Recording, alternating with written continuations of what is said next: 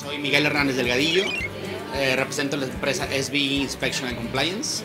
Somos una empresa que se dedica al desarrollo de tecnología para proyectos de comercio exterior. Eh, hemos desarrollado aplicaciones para desarrollar, para control de calidad en tiempo real en Asia. Eh, somos de las pocas empresas en el mundo que hacen control de calidad en tiempo real. la tecnología es propia, son tecnologías in-house para nuestros clientes. Ahora estamos tratando de dar el siguiente paso para hacerla un poco más pública. Eh, enfocado totalmente al desarrollo tecnológico para el control de calidad. Bueno, eh, llegamos a en base a las necesidades del control de calidad de los mismos clientes latinoamericanos. Eh, tenemos oficinas en México, oficinas en Colombia, incluso en España, en algunos países de Europa, pero todo está basado en la necesidad de poder controlar lo incontrolable, que es la calidad en Asia no somos especialistas en ningún tipo de productos, somos especialistas en procesos. Somos una empresa que replica lo que ustedes harían en sus fábricas directamente en, el control de calidad.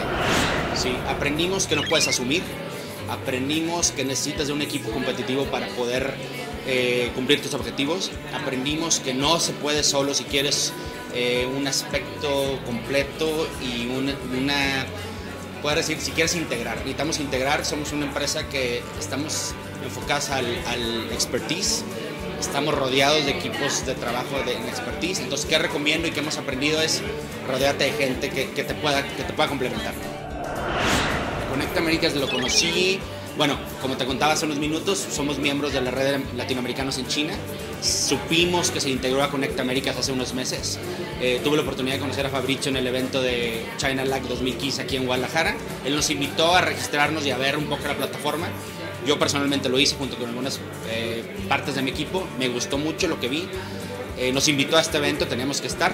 Y siento que es una herramienta que nos va a ayudar a poder pegar ese brinco de integración diferente, un poco más corporativa y un poco más también enfocado a experiencias, no tanto el, que, el que te vendo, sino en cómo nos complementamos y en qué te ayudo. Eh, esta China LAC para mí fue la tercera a la que asistía, ya había asistido a la de Costa Rica y también a la pasada en China. Eh, me parece una plataforma sobre todo de networking, es seguirte manteniendo vigente. Eh, me gusta a mí el, el tema de China LAC. Estoy muy emocionado por la que sigue, que va a ser la capital del acero en China. Entonces me parece una buena plataforma.